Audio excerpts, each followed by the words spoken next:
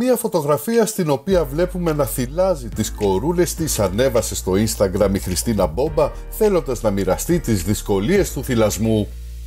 Η καθημερινότητα της δημοφιλούς influencer έχει πλέον αλλάξει και αντιμετωπίζει και η ίδια όλες τις προκλήσεις των νέων μαμάδων. Έτσι λοιπόν στην ανάρτησή της με πρωταγωνίστριες τις δίδυμες κόρες της η Χριστίνα Μπόμπα προχώρησε σε μία εξομολόγηση.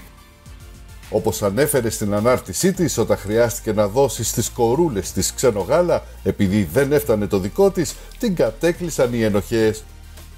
Οι μισές συμβουλές έλεγαν κόψ το τελείως να ησυχάσει και οι άλλες μισές τόνιζαν πως αν τα είχα κάνει όλα σωστά θα είχα αρκετό γάλα, εξομολογήθηκε η influencer.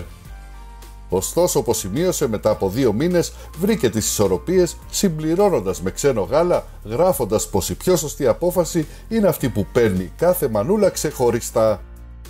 Γιατί στο κάτω-κάτω αυτό που χρειάζονται όλα τα παιδάκια του κόσμου είναι αρκετά απλό. Την αγάπη μας έγραψε στη Λεζάντα η Χριστίνα Μπόμπα στέλνοντας το δικό της μήνυμα.